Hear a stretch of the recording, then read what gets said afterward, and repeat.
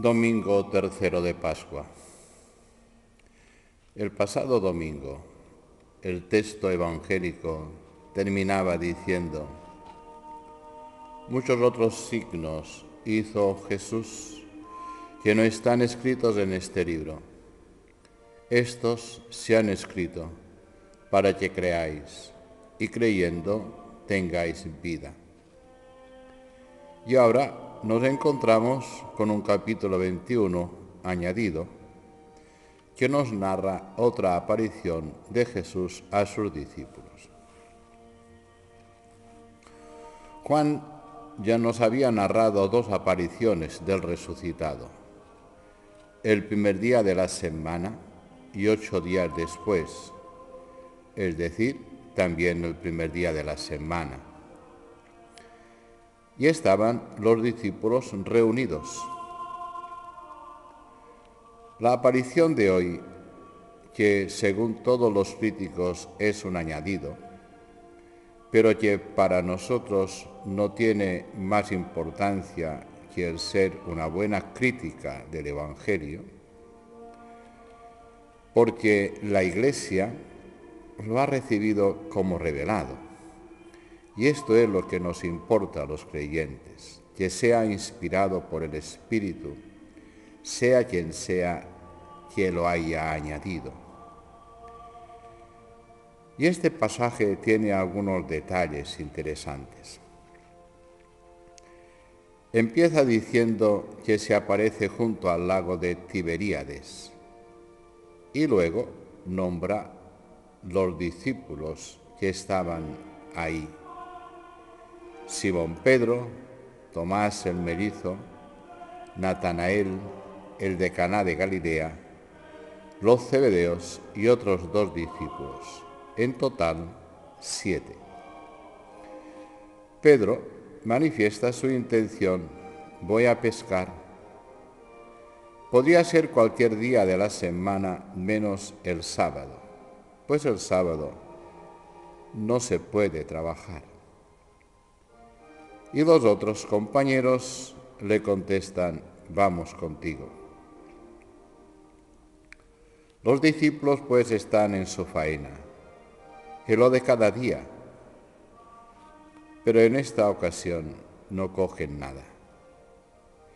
Y es en esta ocasión que se presenta el Señor, en su faena, en las cosas de cada día. Y desde la ribera desde la tierra firme, un personaje pregunta a los que están bregando en el mar de la vida, muchachos, ¿habéis pescado algo? La respuesta es no. Y les invita a echar la red a la derecha. En esta ocasión indica el evangelista que la echen a la derecha en otra ocasión de pesca también milagrosa, según los otros evangelistas, simplemente les invita a echar la red. Y en otra ocasión tenemos el diálogo de Pedro con Jesús. No hemos pescado nada, pero en tu nombre echaré la red. Aquí no se indica este diálogo simplemente les indica echad la red a la derecha. Y la red se llenó de peces. Eso hizo sospechar al discípulo amado e indica a Pedro, es el Señor. No le dice, es el Maestro, sino el Señor con aquel título que se le da al resucitado. Y siguen las sorpresas, pues el mismo Señor ya les había preparado unos peces a la brasa y pan.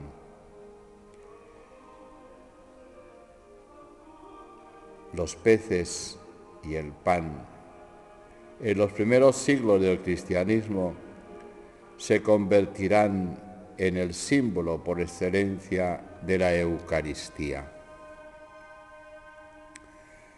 habría que remarcar que es en el trabajo diario en el que se hace presente el Señor resucitado y que este trabajo diario también termina con la acción de gracias, con la Eucaristía,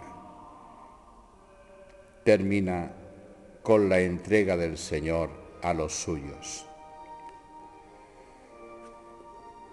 La vida nos debe llevar a la Eucaristía, como la Eucaristía nos empuja a la vida para ir transformando este mundo que Dios ha puesto en nuestras manos. Es Pedro el que carga con la red repleta de peces y la lleva hasta la orilla, a tierra firme, a los pies del Señor. Esta red simboliza la iglesia que salva. Y aun siendo tantos, no se rompió la red. Otro dato curioso. Se entretienen en contar los peces. 153. Había una leyenda, según he leído en alguna parte, que contaba que este era el número total de los peces que había en el mar de Tiberíades, es decir,